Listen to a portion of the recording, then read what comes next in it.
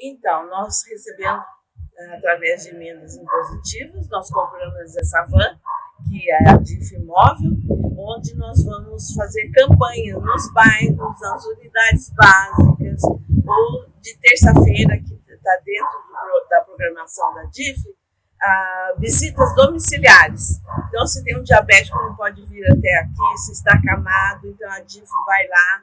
Se, e visitas institucionais, que seria assim numa escola, numa igreja, aonde a gente é chamado. Então tem sido muito importante que a gente faz tipo campanhas, né? Podemos assim em lugares onde o pessoal faz atividade física, a gente já já já né, para, já faz a aferição de glicemia. Então diabetes, a gente sempre fala é uma doença assim que não, às vezes você não percebe, né? Então, eh, as pessoas às vezes têm diabetes não sabem. Ah, na última campanha que nós fizemos, nós detectamos vários, várias pessoas com diabetes que não sabiam.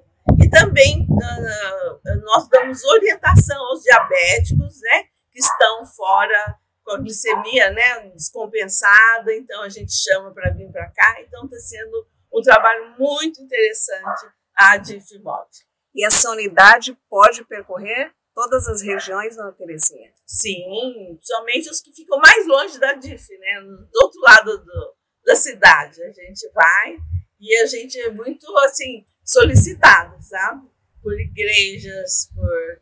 Uh, nós somos... O Lions do dia nos chamou, que fizeram um, um acompanhamento aí, teve feira nós somos nessa feira. Então, a DIF é móvel mesmo. Ela vai em todos os lugares que é chamado.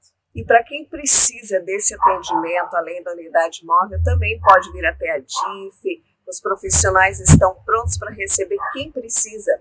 Sim, e aqui a pessoa, é, se a pessoa é diabética, ela vem, faz o cadastro, né?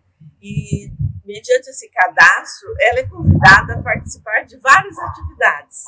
Então, nós temos a enfermeira, nós temos uh, nutricionista, uma nutricionista clínica, outra de produção, temos assistente social, temos psicólogas.